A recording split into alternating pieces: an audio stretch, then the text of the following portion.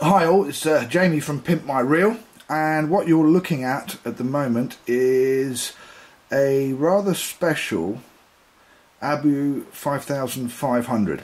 Uh, this is one of mine. And what I'm going to actually do is introduce you to the PMR or Pimp My Reel side plate with centre mag which just happens to be on one of my reels no spin test I'm afraid because uh, I was fishing with this last night and I'm not taking this off because I'm lazy. And this is what I wanted to show you. This is the PMR side plate with centre mag and it's got a mag depth indicator. And when you turn that centre mag it goes in and that means it's all the way up against the spool. And when I open it out. All the way back. You can see that's all the way up. Now if you've got crown screws these are the little crown screws that I make for PMR it makes life a lot easier when you want to get in and out of your reel. Now move those to one side. And let's just gently because it fits very very very snugly. Let's just pull that off. Okay. So we are left with the side plate. You can have a gold knob a silver knob a black knob a blue knob a red knob a green knob a yellow knob. That about covers it at the moment. Um, the green and the uh, yellow knobs and the blues. I actually have a couple over here. They're actually made from the same kind of material as the side plate. The side plate is made from acetal so when it scratches it's the same colour underneath. And also when you scratch the side plate it's not going to show aluminium or bare aluminium underneath the uh, the paint because this is the same colour all the way through. Now, with the PMR side plate, you have a mag holder. You have a depth gauge indicator that's knurled. The reason for this is because this has been set up for fishing. So there are three 8mm times 3mm N42 rare earth magnets that basically have the stopping power of a rhino.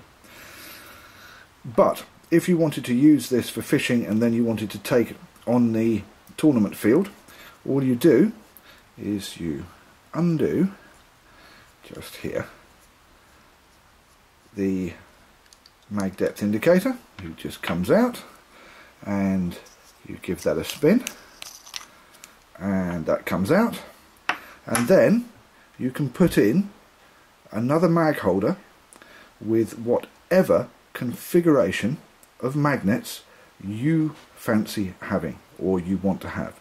You might just have one 6mm magnet. You might have one 8mm magnet. You might have one 10mm magnet. These are three 8mm. Gives you a surface area of 150 millimeters of, of uh, 150 millimeters of magnet surface area and all you have to do is pop it back on the speed bullet.